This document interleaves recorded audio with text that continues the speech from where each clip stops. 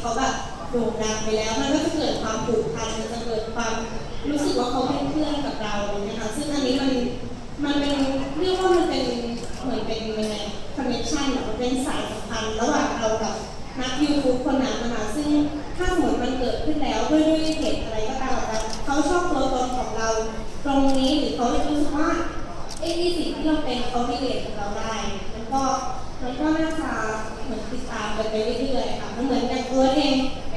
เวลาที่ทำแรกๆเลยคืออเวลาแบบ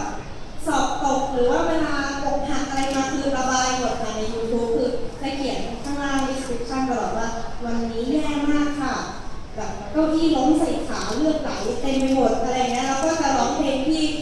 พูดถึง emotion ของของเราในวันนั้น ซึ่งมันก็เหมือนทำให้เราได้ได้ฟังในกับคนที่กำลังดูอยู่ไม่ใช่แค่แบบ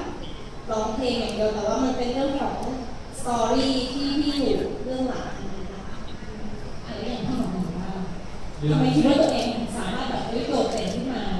เห็นด้วยกับต้องการผู้แข่คือมันมันคือความ individual ของเราจริงคือสุดท้ายแล้วเนี่ยมันคือ character ของเรา ที่เราก็ไม่รู้หรอกว่าไอ้ character เนี่ยเราไม่ได้โคว่า character ของเราเนี่ยอนาคตจะเป็นยังไงแต่เราก็ทวิต ที่ตัวเราเองเป็นหรือว่าเราธรรมชาติที่เราเป็น แต่ถ้าเรารู้ว่าโอเคเราเป็นของตรงนี้อยู่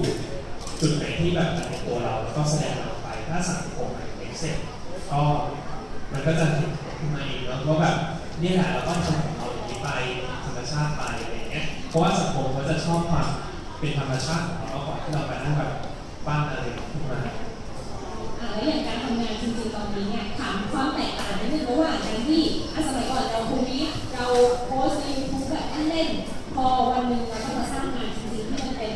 เป็นงานอย่าง อย่างเป็นซิงเกิลเพลงใช่ไหมคะของเอิร์ธต่างกันขนาดไหนความยากเท่าไหร่ของมันก็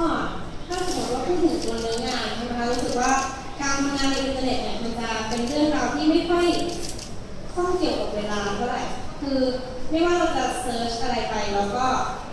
มักจะคือไม่ว่าเขาจะโพสต์มาเมื่อแบบ5ปีที่แล้ว เราก็ยังจะเจออยู่นะแต่ว่าการทำงานจริงๆแล้วเนี่ยมันมี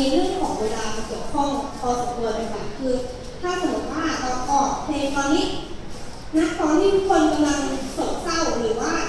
ณตอนที่กำลังมีกระแสอะไรแบบ boom boom หรือว่าเป็นช่วงสงกรานต์หรือว่าอะไรเงี้ยมันก็อาจจะทำให้สิ่งที่เราตั้งใจทำเนี่ยไม่สำเร็จผลซึ่งมันมีเรื่องของ target เข้ามาเกี่ยวข้องเยอะมากเพราะว่าในอินเทอร์เน็ตเรารู้สึกว่าเราโพสของเราโพสอะไรไปเมื่อแบบแปดปีที่แล้ว ตอนนี้ก็ยังมีคนกดเข้ามา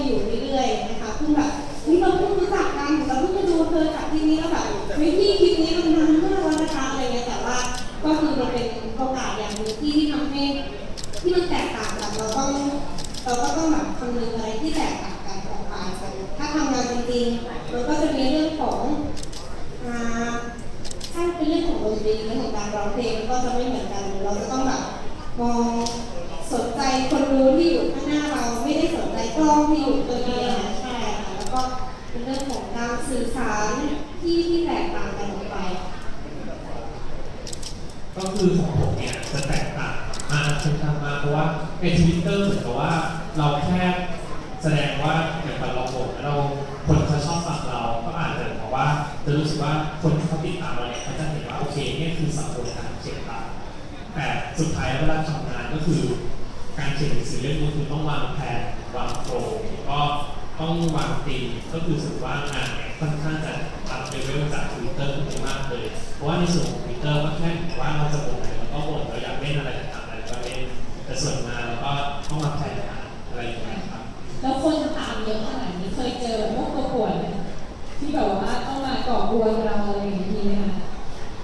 ถ้าจะเป็นยูทูบจะเป็นเรื่องของ comment ต่างๆ ซึ่งซึ่งบางอันก็ใจร้ายสุดๆที่ยังไงบางอันก็คือก็จะใจร้ายแบบว่าเหมือนเกลียดกันเลยอะคือคอมเมนต์เหมือนแบบเราแย่มากๆ เราทำอะไรไม่ดีสุดๆเลยนะหรือว่าบางอันเป็น พูดไม่ดีกับเราพูดแบบหยาบคายอะไรเงี้ยซึ่งเราเข้าใจว่าสิ่งนั้นอะเขาไม่ได้รู้ว่าเราอะอ่านอยู่หรือเปล่าแต่ว่าเขาแค่อยากที่แสดงให้โซเชียลเห็นซึ่งสำหรับเอิญนะคะการรับมือของมันคือมันไม่มันจะแบบพยายามดีๆนะคะคือถ้าดีๆได้ก็ดีถ้าบางอันมันแบบหยาบคายจริงๆหรือมันแบบมันมันแยกเราอ่านแล้วเราแยกเราก็จะแบบปิดมันไปแต่ความจริงก็คืออดคิดถึงมันไม่ได้อยู่แล้วค่ะมันเป็นอะไรที่ มันเป็นอะไรที่เราบางทีเวลามีคนไม่ชอบเราแค่คนหนึงอะค่ะมันก็คือทำให้เรารู้สึกแย่ไปทั้งวันหรือว่าอะไรแบบนั้น ซึ่งซึ่งก็ต้องพยายามทำความเข้าใจว่าโลกโซเชียลกับโลกชีวิตจริงอะมันไม่เหมือนกันนะชีวิตจริงคงไม่มีใครเดินเข้ามาชาร์จตัวเราแล้วบอกว่าเราไม่ชอบเธอเพราคุณพูดอะไรแบบนั้นเลยนะซึ่งก็เลยต้องแบบต้องต้องตีไว้ในหัวคิดไว้ในหัวว่าเราต้องแยกแยะมันให้ได้